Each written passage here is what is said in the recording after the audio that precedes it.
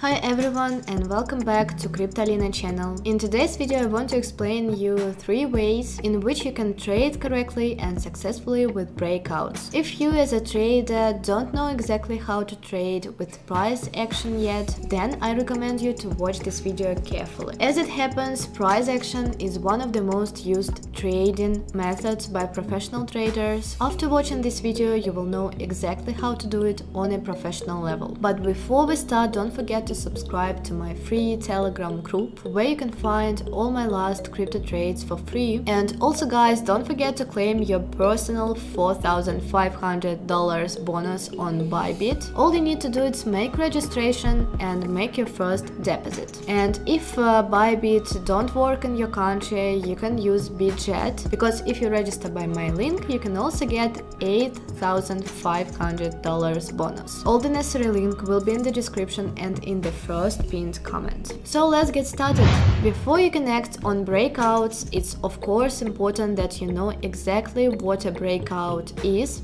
Simply put, a breakout is a change and a trend. For example, here on the screen we see a falling wedge pattern. The price movement in this pattern is downward, so the price is moving in a downtrend, but at a certain point the price gets to a level that is very close between the support level and the resistance level. At that point, the price actually has to make a decision because one of the most lines it will have to break through since the price is trapped, so to speak.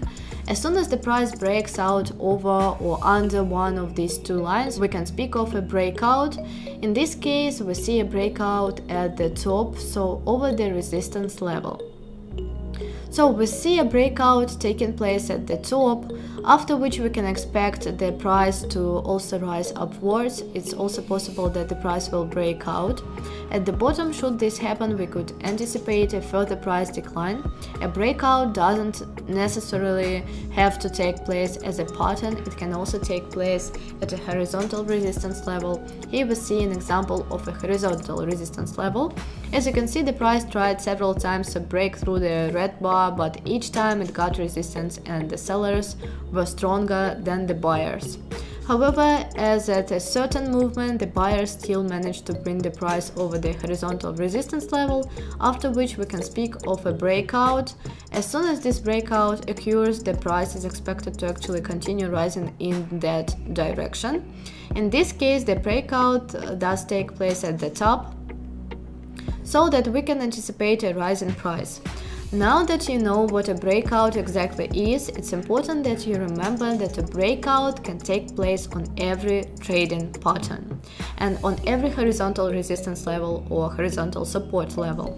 There are many different trading patterns, I just showed you only the falling wedge and the horizontal resistance level, but so you should know that the breakout can occur on any pattern. Since I'm not going to explain to you in this video all the patterns that exist, I will just show you an overview of possible patterns that can appear on the price. Now that you know on which areas on the price a breakout can take place, we are going to look at the three ways how you then actually capitalize on a breakout. We will take as an example this resistance breakout, but keep in mind that everything I am explaining can also take place on the other patterns I just showed you. The first breakout we will discuss is the breakout and retest. With this breakout you don't immediately bet on a rising price once the breakout occurs. This is because we are waiting for a retest a retest can take place after the breakout and actually means that the price touched the top of the resistance level after the breakout. We can see this here. The price first breaks over the resistance level and then first makes a small drop back to the resistance level, which now serves as a support, and then rises over its last high. In this case, we can anticipate a rising price as soon as the last high is broken. The other way around with a breakout at the bottom of a pattern also works. Here we see an example of this. We see a normal trend line where the price breaks out at the bottom, we don't play right into a fallen price yet, but we are still waiting for the retest. We see that the price rises back to the bottom of the trend line, which now serves as resistance. Then it drops below the low that the price has made, after which we can finally open our selling positions A retest actually shows in simple words that in this case the sellers win twice over the buyers. Initially, the sellers win by allowing the price to break out below the trend line. Then the buyers try one more time to bring the price back over the trend line, but they fail when the buyers get the price lower again by dropping below the low. So at this point, the sellers win twice over the buyers, resulting in a huge drop. During trading, it's actually always about trading with the side that is being traded on the most, that is up or down. So by the retest and drop below the last low, we clearly see that the sellers are winning twice. So from that point on, we are capitalizing on a falling market and making a profit when the price drops. Many people think that as a trader they can only make money when the price is rising, but that is a wrong thought and they are missing out on a lot of profits. You can also make money when the market drops by using a technical called short trading. In other words, you open a selling position and you make a profit when the price drops.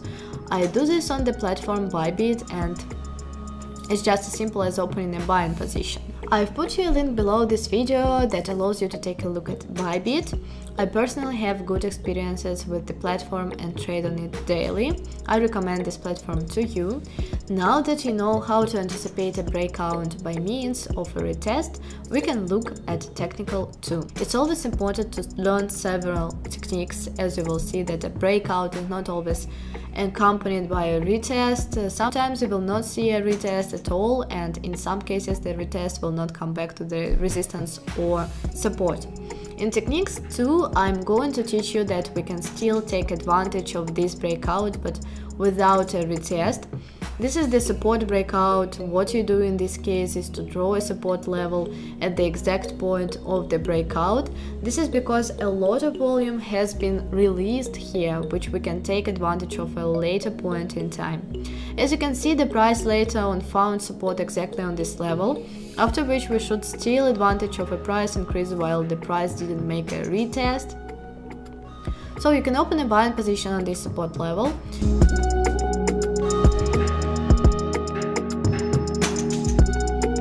There is one rule with this technique and that is the rule that the support breakout can only take place at a trend line or a pattern breakout and not a horizontal breakout. If you apply this technique to a horizontal breakout, then you will see that the exact spot of the breakout will always be the same spot as the retest.